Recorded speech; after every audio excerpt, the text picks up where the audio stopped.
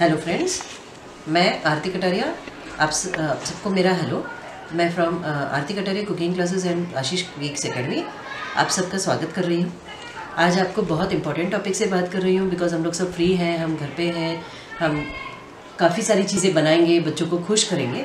उसी इसमें आज मैं बहुत एक अच्छी रेसिपी आपके लिए बेकिंग की लेके आई हूँ। दैट इज़ हम बनाने जा रहे हैं पाव। ये इसलिए कर रही हूँ कि मैं एक आठ दिन के कोर्स के साथ में आ रही हूँ।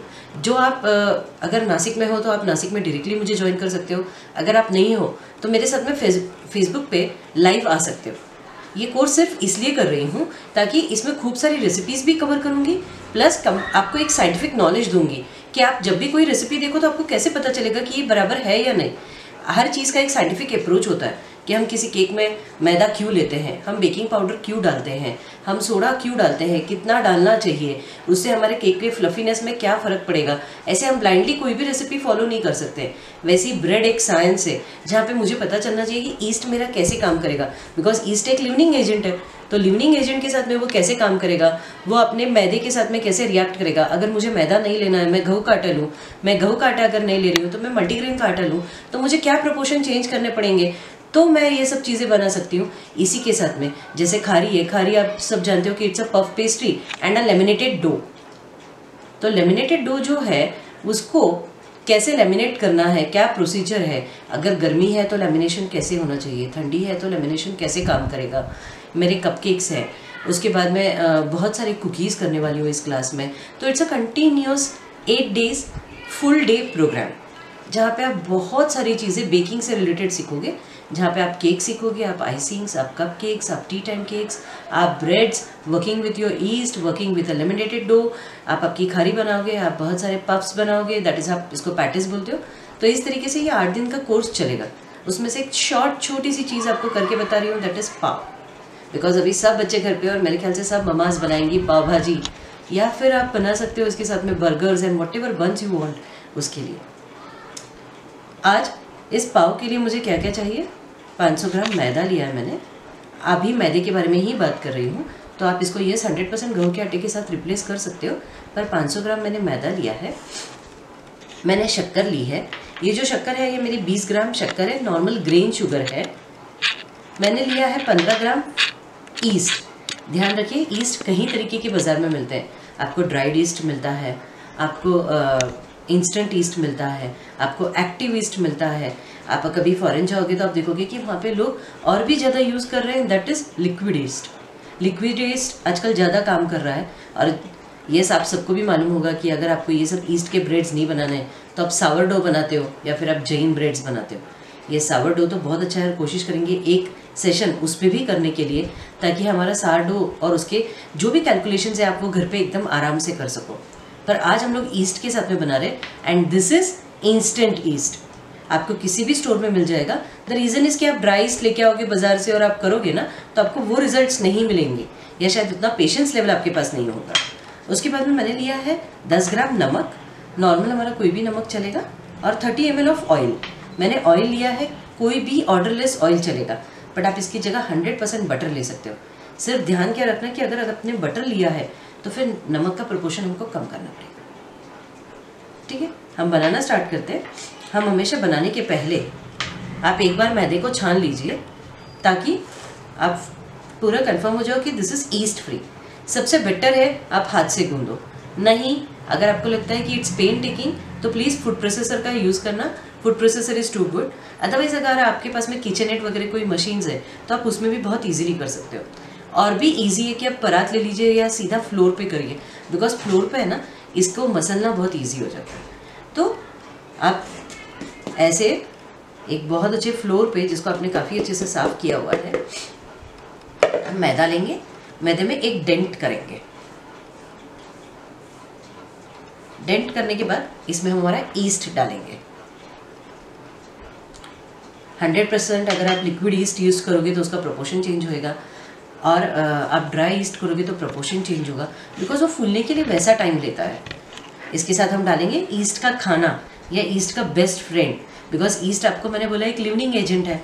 तो उसको फ़ूड भी तो चाहिए ग्रो होने के लिए। Yes yeast is a pure veg stuff तो हम उसमें डाल रहे हैं शुगर अब मैं इसमें डालूँगी थोड़ा सा पानी और ईस्ट को मैं एक्टिव कर लूँगी। फ्रेंड्स आज मैं काम कर रही हूँ। अगर आप मेरे साथ में काम करने वाले हो, इस कोर्स को ज्वाइन करने वाले हो तो ये सब चीज़ें आपको करनी है। ये देखिए बबल्स आ गए। जब बबल्स आ जाते हैं yes my yeast is active और अब मैं इसका आटा गूंद लूँगी आप मशीन में करोगे तो 100 परसेंट वेल एंड गुड अगर आप नहीं कर रहे हो तो आप प्लीज़ इसको हाथ से करिए। पहले एक बार इसको अच्छे से मिक्स कर लीजिए और फिर पानी डाल के इसका आटा गूंद लीजिए। दोस्तों नियर अबाउट 200 सवा दो सौ पानी मैंने यूज़ कर लिया है। मतलब ये सवा दो सौ में लास्ट बचा हुआ है और ये आटा हमको थोड़ा सा गीला चाहिए। बिकॉज़ क्या होता है पता है, हर ब्रेड जो है ना, उसका गिलास, उसका जो मॉइस्चर कंटेंट होता है, गिलास बोलने से अच्छा हम बेकरी फ़ील्ड में क्या बोलते हैं? मॉइस्चर उसका जो मॉइस्चर है ना, वो डिफरेंट चाहिए। और अब हम क्या करेंगे? हम इसमें ग्लूटेन फॉर्म करेंगे। मेरे ख्याल से आप सब भी करते हो, जब अपना नॉर्मल आटा गूंदते हो, आप काफ़ी देर उसको ऐसे ऐसे करते हो, ताकि वो आपकी जो रोटी है वो सॉफ्ट हो। सेम वे कि मुझे मेरे पाव सॉफ्ट चाहिए तो मैं आप क्या कर रही हूँ, पानी भी मिक्स कर रही हूँ, और उसके साथ में मैं मिक्स कर रही हूँ, मैं ग्लूटेन भी फॉर्म कर रही हूँ। और इसीलिए मैंने आपको बोला था कि फ़ूड प्रोसेसर रहेगा तो बहुत अच्छा। आप आराम से फ़ूड प्रोसेसर में करिए तो फास्ट हो जाएगा। इस आटे को 100 परसेंट थोड़ा सा गीला रखना है। जब हमको दिख रहा है कि ये इतना अच्छा गूंदा जा रहा है तो मैं क्या करूँगी? अब इसमें तेल और नमक डालूँगी। बेसिकली हम लोग कोशिश करते हैं कि हम पहले नमक नहीं डालें। बिकॉज़ ये अलग अलग डो पे नमक अलग अलग तरीके से काम करता है। मैं पिज़्ज़ा डो बना रही हूँ तो मेरा पूरा कंप्लीट अलग हो जाएगा करने का तरीका।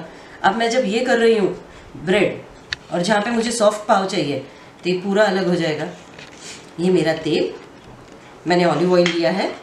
आप कोई भी तेल ले सकते हो रिफाइंड और मेरा नमक.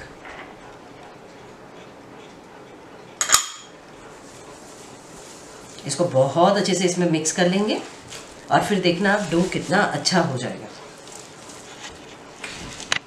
हर बार डो बनाओ और ग्लूटेन चेक करिए कि आपका डो जैसे ही आप ग्लूटेन चेक करोगे ना, आपको तुरंत पता चल जाएगा. जैसे ढोकले में है हम लोग जैसे ही उसमें सोडा डालते हैं तो हमको पता चल जाता है कि ये फूलने वाला है या नहीं फूलने वाला है। वैसे ही ब्रेड में जैसे ही ग्लूटेन चेक करोगे, आपको पता चल जाएगा कि यस मेरा डो होने वाला है या नहीं। सबसे लॉजिक ये है कि आपने कोई भी केमिकल्स यूज़ नहीं किए हैं। You have not added any potassiums bromates और एनी प्रिजर्वेटिव्स कि जहाँ पे मेरे बच्चों को या मेरी फैमिली मेंबर्स को ये खाने से तकलीफ़ होएगी।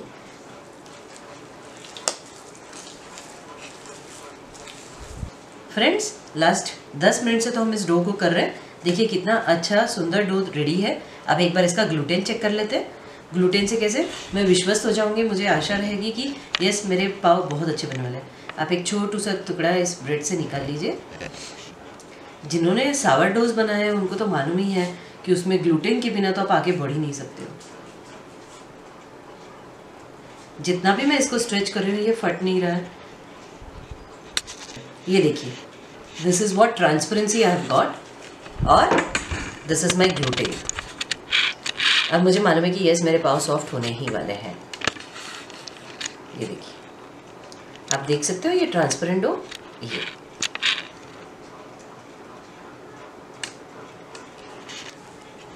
अब इस आटे को मैं सिर्फ़ एक पाँच मिनट के लिए ऐसे ही रेस्ट दूँगी। क्यों? आपको मालूम है कि मैंने इतनी, नहीं आप इसको कवर करना चाहो तो अगर आपका बहुत गर्म है किचन टेप टेबल टॉप तो आप इसको ढकिए। अदरवाइज़ बस पाँच मिनट के लिए इसको ऐसे रहने दीजिए और फिर हम बनाएँगे इससे पाव। द रीज़न इज़ कि क्या होता है पता है? हमारे हाथ से इतनी गर्मी इसमें लगी हुई है। इतने रिएक्शंस चालू हो गए इसमें कि बहुत ज़रूरी था कि इसको एक पाँच मिनट का रेस्ट दे। मेरे ख्याल से अब कैसे होगा पता है? जब आप रोटी भी करते हो, आप आटा गूंद लेते हो, आप बहुत अच्छे से उसमें भी ग्लूटेन फॉर्म करते हो तो आप एक पाँच दस मिनट इसको रेस्ट देते हो और फिर आप आपके फलके बनाते हो या आपकी रोटी बनाते हो। सेम उसी तरीके से है फ्रेंड्स और बस इन्हीं चीज़ों के लिए हम आठ दिन साथ में चलेंगे। It would be a full time baking course जिसके बाद हंड्रेड परसेंट आप आपका बिज़नेस कर पाओगे। आप काफ़ी सारी चीज़ें बना के बेच सकोगे बिकॉज़ हम जो भी करेंगे, हम प्रोफेशनल लेवल पे करेंगे। तो हम आठ दिन मिलेंगे लगातार हम फ्राइडे से इसको स्टार्ट करेंगे और yes some ten thirty to two thirty या थ्री ओ क्लॉक तक हम ये बेकिंग आइटम्स करेंगे। जो भी नासिक में है वो डायरेक्टली मुझे ज्वाइन कर सकते हैं because it's a certificate course yes जो नासिक के बाहर है वो एफबी पे लाइव मेरे साथ आ सकते हैं। मैं रोज़ आपके साथ में आप भी मेरे साथ में काम करोगे। मैं पहले ही आपको इंग्रेडिएंट लिस्ट भेज दिया करूँगी कि आपको क्या इंग्रेडिएंट्स लगने वाले हैं आप कैसे करने वाले हो करके। आ, वो इंग्रेडिएंट्स आप रेडी रखना और उसके साथ में ही अपन रेसिपीज़ करेंगे। अगर आपके पास में ये होगा विंग्स के लोगों तो बहुत बेटर है कि आप 40 ग्राम नियर अबाउट एक पाव बनाइए तो क्या होता है, आपको इवन साइज़ पाव और आपका बेकिंग भी इवन होता है। आपको कलर भी बहुत अच्छा मिलेगा। और सबसे मेन आपको बहुत खुशी होगी कि बिना किसी केमिकल्स के इतने अच्छे पाव आपने खुद ने बनाए। ठीक है? तो हम इनको कट करेंगे। और मैं भी इनके गोले मेजर कर लूँगी कि ये सब फोर्टी है या नहीं। नहीं हंड्रेड परसेंट अंदाज से करोगे तो चलेगा। आप स्क्रेपर से इनको कट कर लीजिए। आपके पास स्क्रेपर नहीं होगा। आप नाइफ का मदद ले लीजिए। हम रोज़ किचन में काम करते हैं तो अंदाज तो हमको है ही है।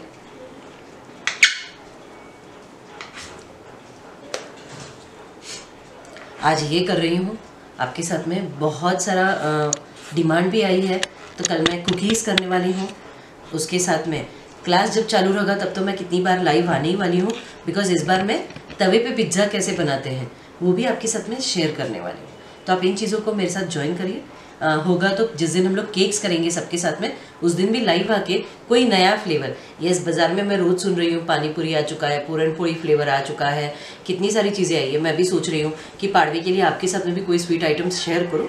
बट यस ये पूरन पूरी है या आम्रखंड है या पान है या कोई ये जैसे न्यू फ्लेवर्स है, वो भी एक केक आपके साथ में ज़रूर करूँगी। तो हम इसको गिन लेते हैं। मैं ये वाला ट्रे ले रही हूँ। अगर आपके पास में ज़रा लंबा वाला ट्रे है तो पाव और भी अच्छे करेंगे। अच्छा मेरे इस ट्रे के हिसाब से मैंने ईच बॉल 60 ग्राम्स का लिया है। आप जैसे छोटा बटा ट्रे लोगे, वैसे आप पाव कम ज़्यादा कर सकते हो। कम मत कीजिए। चालीस से साठ के बीच में ये हंड्रेड परसेंट आपके पाव बहुत अच्छे बनेंगे। इन पाव को मैं लूँ और मैं हाथ से इनको ऐसे कर रही हूँ। सिर्फ़ नीचे की तरफ़ से राउंड और यस मुझे आज गोल पाव नहीं चाहिए, मुझे पाव भाजी के पाव चाहिए। इसलिए मैं क्या कर रही हूँ, हल्का सा इनको दबा के, इनको थोड़ा सा लंबा कर रही हूँ। आप गोल रखना चाहो तो हंड्रेड परसेंट गोल रख सकते हो। मैं आज थोड़े से लंबे कर रही हूँ और मैं मेरे ट्रे में अरेंज कर दूँगी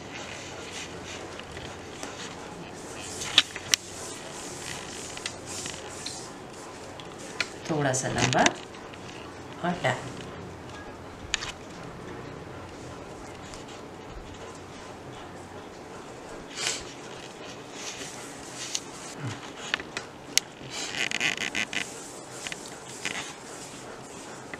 आप ये हंड्रेड परसेंट इसमें डिस्टेंस छोड़ सकते हो हाँ, थोड़ा सा पर जब तक मैं कर रही हूँ तब तक ही उन्होंने फूलना स्टार्ट कर दिया।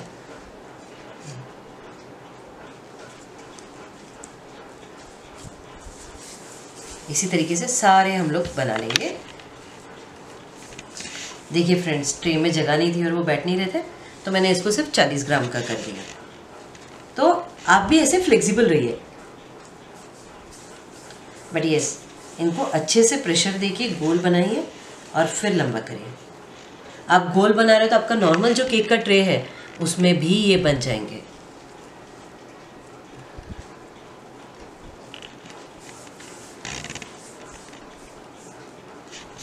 अब फ्रेंड्स इन सबको हम ऑयल लगा लेंगे। जस्ट थोड़ा सा ब्रश कर दीजिए, ताकि हमारा ब्रेड सूखे नहीं। आपको तो मालूम है एग वॉश भी देते हैं बट एज सच हम लोग एगलेस पाव कर रहे हैं और इसके बाद एक इंपॉर्टेंट चीज़ आपको करनी है, जिसको बोलते हैं नैक डाउन इज़ आपको इनको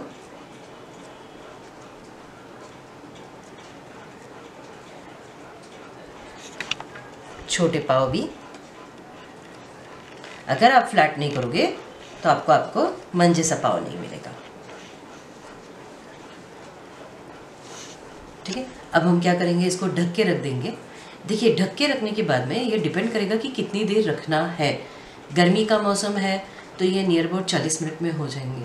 अगर ठंडी का मौसम है तो ये एक घंटा भी ले सकता है। और अगर बारिश का है ह्यूमिडिटी बहुत सारी है तो ये अगेन 40 मिनट से एक घंटे के बीच में लेगा। आपको कैसे पता चलेगा? मैं भी आपको बताती हूँ। गर्म जगह इन द सेंस आप इसको ढक के एक गर्म जगह पे रखिए। गर्म जगह क्या हो सकती है? जहाँ पे आप अगर आप कोई काम कर रहे हो आप, आप अवन आपका सॉरी अवन चालू है तो अवन के ऊपर रख दीजिए। आपको चाहिए तो आप आपकी गैस पे आप रोटी वगैरह बना रहे हो। तो थोड़ा सा लंबा पर आप उधर रख दीजिए। कोई भी गर्म जगह पे इसको रख दीजिए सिर्फ़ ढक के। अगर आप ढकोगे नहीं तो इसके ऊपर एक लेयर आ जाएगी। आप सबको मालूम है कि लेयर आती है हमारे आटे पे तो वो फॉर्मेशन नहीं होएगा। हम इसको ढक के रख देते हैं। देखिए फ्रेंड्स कितने अच्छे ये फूल गए याद रखिए नियर अबाउट सिक्सटी परसेंट ये फूलने चाहिए, ताकि चार चालीस परसेंट जो है बचा हुआ, वो बेकिंग के टाइम पे फूलेगा। अब हम इसको एक प्री हीटेड अवन में बेक करने के लिए रखेंगे। आप इसको 200 डिग्रीज पे 25 से 30 मिनट बेक करिए, या फिर आपको डिज़ायर्ड कलर नहीं मिलता, तब तक। और फिर हम इसको देखेंगे कि कैसे बनते हैं करके और कैसे आपके पास आते हैं। यस वापस आप बेक करने के पहले एक बार ज़रूर इसको ऑयल लगा दीजिए। ताकि ये कहीं से भी सूखे नहीं बेकिंग के वक्त और अवन आपका प्री हीटेड ही चाहिए। जो लोग अवन में नहीं बनाते तो आप जैसे ही केक बनाते हो सेम उसी तरीके से इसको आप आपके एल्यूमिनियम की कुकर में या एल्यूमिनियम के पतीले में रख दीजिए तो भी ये आपके बन जाएँगे।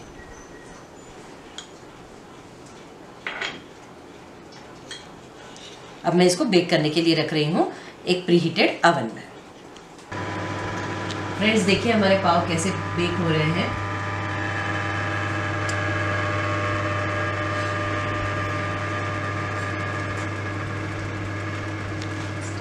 देखिए हमारे पाव 15 मिनट के बाद बेक होके तैयार है। अब हम क्या करेंगे?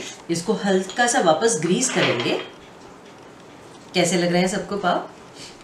देखिए, बिना किसी CP that is calcium propionate की बिना किसी प्रिजर्वेटिव बिना किसी किसी भी केमिकल के आपके पाव रेडी है।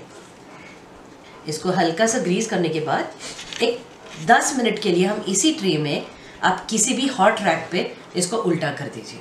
और फिर 10 मिनट के बाद आपको मैं बताती हूँ, जब ये थोड़ा सा ठंडा हो जाएगा कि हमने ये पाव बनाए थे, उसकी जाली कैसी है, वो कैसे दिख रहा है तो हम लोग एक 10 मिनट में देखते हैं। अभी इस रेसिपी के साथ हम लोग कल मिलेंगे फ्रेंड्स एक नए बिस्किट के साथ। इसके अलावा आप घर पे हो, अभी आपको चाहिए कि आपके बच्चों के लिए कोई रेसिपी चाहिए, कोई आपसे आप किसी रेसिपी को मेरी तरफ़ से देखना चाहते हो तो प्लीज़ मुझे आप कमेंट बॉक्स में कमेंट करिए। मैं पूरी कोशिश करूँगी कि वो आपको रेसिपी प्रोफेशनली कैसे बनाता है ये बताना। थैंक यू फ्रेंड्स एक दस मिनट ये ठंडा हो गया है। अब हम क्या करते हैं? इनको स्ट्रेट कर लेते हैं। और यस अब आपको मैं जाली बताती हूँ। ये देखिए अपने छोटू पाव और इनकी जाली देखिए।